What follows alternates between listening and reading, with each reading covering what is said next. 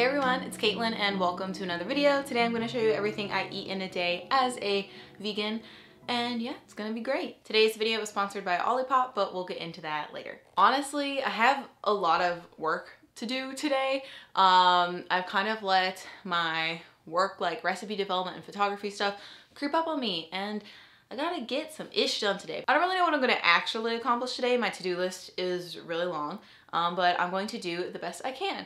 And I'm actually gonna start with like an impromptu little plant tour. Some of you guys requested this in my last video. A lot of my plants are in my bedroom right now because we're currently remodeling um, the main floor of this house and it's just too dusty down there.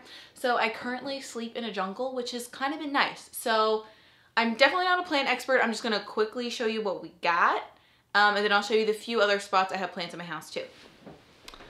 First I need to make the bed though. It's honestly not really organized. As you can see, we got plants stacked on top of other plant stands. This is temporary, but long term I might include a few plants here. So um, we'll start with these. This one in the corner is a Birds of Paradise, and then this one is a rubber tree. And then right here, I have two Monsteras. This one I actually got about this size from Lowe's. It was really healthy for like 80 bucks.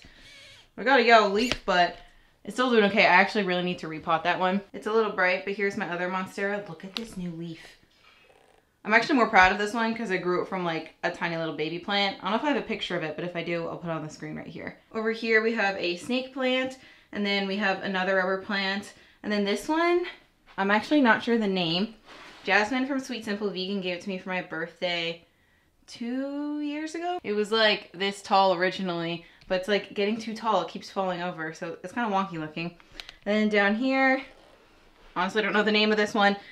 It's a succulent. Hello. Over here we have a ZZ plant that has honestly gotten huge. It just keeps growing and like I don't even know what to do with it at this point. Its wingspan is so large. I have some more uh, succulents and aloe in the bathroom. And then we also got a random bamboo plant here. I have another fern in another part of my bathroom and the edges are looking a little crispy, but you can't really tell on camera, so that's good. There's this little uh, stringy type succulent in my office. Oh shoot, I forgot to water this one. Uh, yeah, it's not looking too hot. I have this lone pothos in my kitchen that I need to dust regularly because it's just way too dusty down here but I just keep it there because it makes me happy. More succulents in a windowsill, which is also in a bathroom. Another dusty plant. This one's a snake plant too. Some cacti, some monstera cuttings that I cut on accident and then just let die in a jar. Um, there's another plant there. It's kind of dark, but I don't feel like brightening it. Please excuse the mess. This was my kitchen for a while. It still kind of is, but it's actually the laundry room. And then down in my basement, I have a fiddle leaf fig, I don't know what that plant is. It's not looking so hot, so let's not zoom in. And then this is, I think, a philodendron. This is my filming setup. That's why my cookbook's there. But this one is like exploding. There's new growth on like just everywhere. It keeps getting super, super long. So this is probably the one I'm taking the best care of right now. And that concludes my plant tour. Honestly, I haven't bought any new plants for a while. I kind of went through a phase where I bought a lot and then I've just been trying to keep them alive. So they're pretty large now. Like you can't get most of that size at the hardware store unless you're paying a lot of money. Not just hardware store, but nursery. You know what I'm trying to say. But I honestly buy most of my plants from Home Depot or Lowe's. I just make sure that they look really healthy. Um, I have gotten a few as gifts.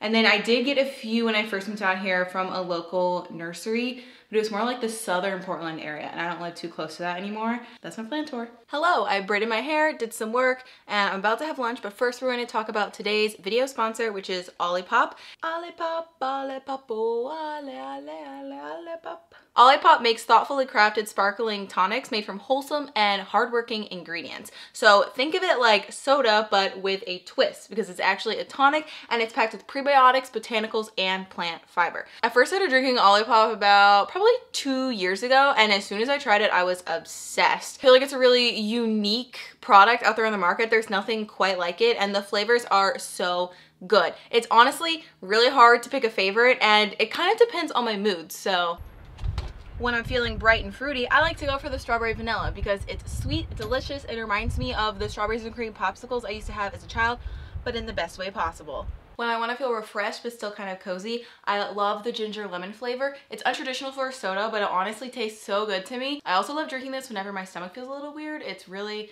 really soothing too. Today though, I'm feeling a little classic and nostalgic. So I'm going to go for Olipop's classic root beer. Root beer was my favorite soda as a kid. And I swear, this tastes just like it. I even spilled on myself when I was a kid too. They also make a cola that tastes really good. That one is Dylan's favorite. We can find this at our local grocery store, but it's definitely not available everywhere locally, but no worries because you can buy it online. So today, Olipop and I are offering you 20% off of their variety pack, so you can try six of their flavors and pick which one of those is your favorite. I guarantee it's gonna be pretty hard, but you're gonna enjoy the process. So you can use code from my bowl. I will have the link in the description below as well.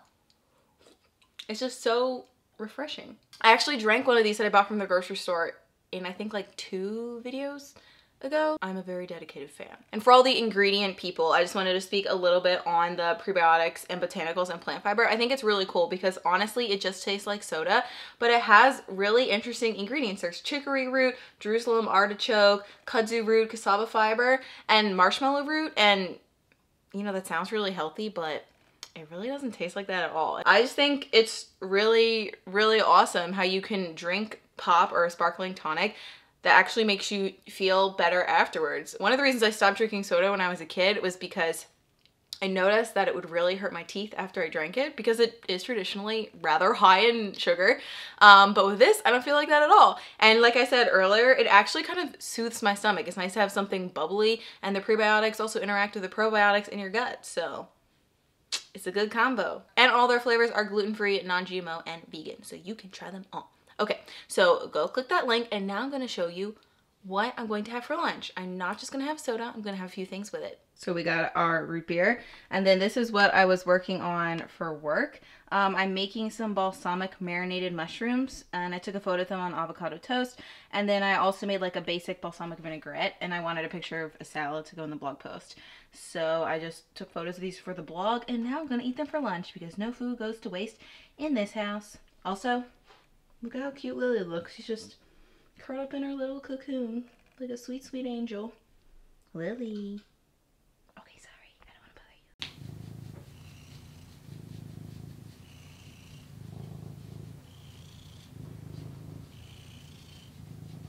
Hello again. Um, so it's dinner time now. I relaxed a little bit after lunch and I actually watched um, an episode of Grey's Anatomy to chill for a bit. And I had a snack uh, of some apples and peanut butter. Uh, the lighting was really bad, but you know. And now I'm here with my dogs. Maya, you're just out of the frame, but you look so cute. I know. Okay, anyway, sorry. I'm currently in my basement. We have the guest bedroom to our house down here. Um, and it's currently my makeshift work studio. So I had to make another recipe today um, for the blog and I thought I would show you some unglamorous BTS because um, like I mentioned in previous videos and I mentioned this one too, we're renovating the main floor and it's just way too dusty up there still and there's just construction stuff everywhere so it really doesn't make sense for me to carry my stuff up and I'm kind of been shifting my work week too. Um, today's the weekend and so the construction crew isn't there so I've kind of been taking more days off during the week as like my weekend and then working on the weekends because I have access to the whole house and there's no noise going around. You've been warned it's not glamorous or cute or clean okay okay it is a hot mess so usually I film on my kitchen island and I have my other kitchen counters um, to cut on but I don't have that here. So I've been carrying stuff down on baking trays and cutting on cutting boards on the floor. And then I have this folding table that I film on. I have my lights there and then my camera mounts on top of this. And then this is what you guys see, the pretty, pretty video. Um, actually, I'm really excited about this recipe though. I'm gonna eat it for dinner. I made vegan beef and broccoli using soy curls and I used a secret ingredient to make them a little bit darker, but look how tasty this looks. So I'm about to eat this. I'm just going to clean up a little bit, but this is the reality behind recipe testing. And then I shoot my photos um, with flash. So I have that set up here. And this is what you guys see. Again, the pretty background and not all the crap that's around it. I actually just made this accent wall and I'm very proud of it. Um, but yeah, this is my setup right now. Lots of crap and beggar dogs. Don't worry, they don't actually eat that stuff though. They're pretty good. They just sit and watch me and see if I'll maybe get them a broccoli end or something. I'll make it later. Lily B. Everyone thought you were so cute in the last video. And they asked how your ears got so big. But we don't know, do we? She, we did a DNA test on her and she's just like a complete mixed breed. Anyways, total rambles. This is why I turned the camera on because I wanted to show you that this is going to be my dinner. So I'm to have this and I'll talk to you guys when I have dessert. So for dessert, I am having this no-bake chocolate pie. Um, I actually shot this yesterday and then just stuck it in my fridge. So I'm making leftovers for dessert tonight. And then I also have a glass of oat milk. So that's going to be it for this video. I hope you guys enjoyed it. And don't forget to check out Olipop. Big thanks to them for sponsoring this video. And don't forget you can use code for my bowl to get 20% off of their variety pack. Uh, the link will be in the description below. Look at how sweet this is. Can I have a kiss?